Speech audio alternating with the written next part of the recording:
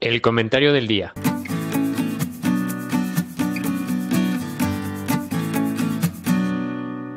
Eugenio Gómez presenta El futuro de la competitividad de México. Recientemente se dio a conocer el ranking de competitividad del Centro de Competitividad Mundial del IMD, la prestigiosa Escuela de Negocios Suiza. La atención se concentró en el hecho de que México cayó dos posiciones para ocupar las 55 entre 64 países evaluados.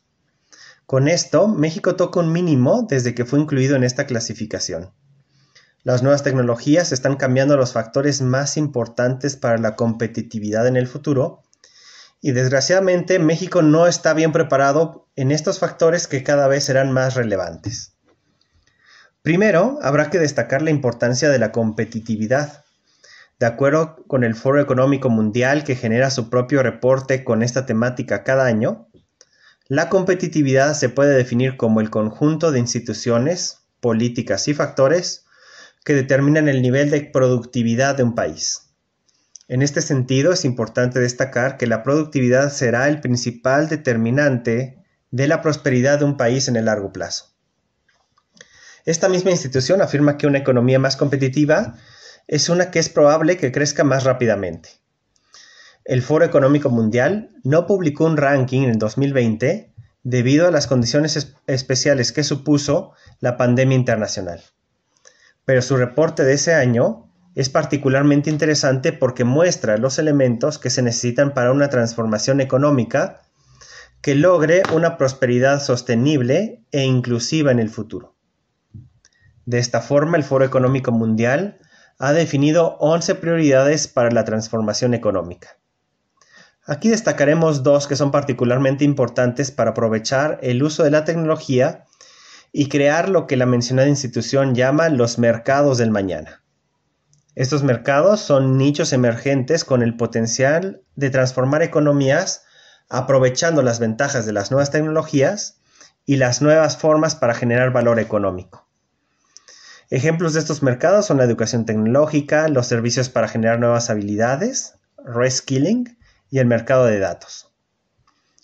Una de las prioridades para la transformación de acuerdo con el Foro Económico Mundial, es mejorar la infraestructura para acelerar la transición energética y ampliar el acceso a la electricidad y a las tecnologías de información y la comunicación. Desgraciadamente, México parece ir en la dirección opuesta porque se han dejado de lado las energías limpias y la inversión energética de la actual Administración Federal se ha puesto en una nueva refinería.